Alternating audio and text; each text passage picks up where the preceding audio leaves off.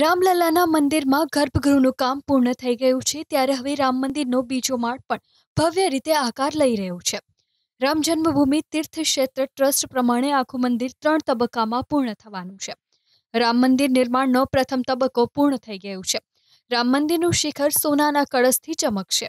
પ્રાણ પ્રતિષ્ઠા બાદ હવે ટૂંક સમયમાં આ ભાગમાં બાંધકામ શરૂ થશે. આ સાથે અન્ય બાંધકામોના કામો પૂર્ણ કરવામાં એક વર્ષ જેટલો સમય લાગી શકે છે. રામલલ્લા મંદિરના બીજા માળે દિવાલ બનાવવામાં આવશે, જે મંદિર પરિસરને ચારે તરફ હશે. આ દિવાલ પણ મંદિરની સુંદરતાનો મહત્વનો ભાગ બની રહેશે. અપરકોટામાં જુદા જુદા દેવી દેવતાઓના સાત મંદિરો બનાવવામાં આવશે. સિત્તેર એકરમાં બનાવેલા રામ મંદિરનો પાયો તૈયાર કરવામાં બે હજાર પાંચસો સત્યાસી સ્થળોની માટીનો ઉપયોગ કરવામાં આવ્યો છે.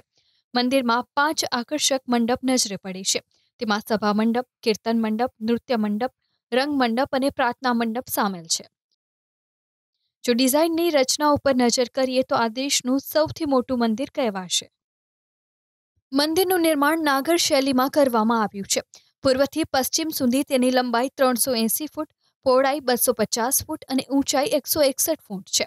ખાસ વાત એ છે કે તેને બનાવવામાં લોખંડ કે સ્ટીલનો ઉપયોગ કરવામાં આવ્યો નથી.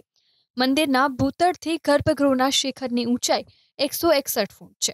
સમગ્ર મંદિર પરિસરમાં નવસો બાણું સ્તંભ અને ચુમ્માલીસ દ્વાર છે. સ્તંભ અને દિવાલો ઉપર દેવી દેવતાઓની મૂર્તિઓ છે.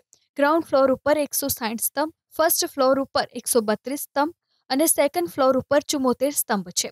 સમગ્ર મંદિર પરિસરમાં બાર ગેટ છે. એવા ઘણા બાંધકામો થવાના બાકી છે જે ભક્તોની સુવિધા સાથે સંબંધિત છે.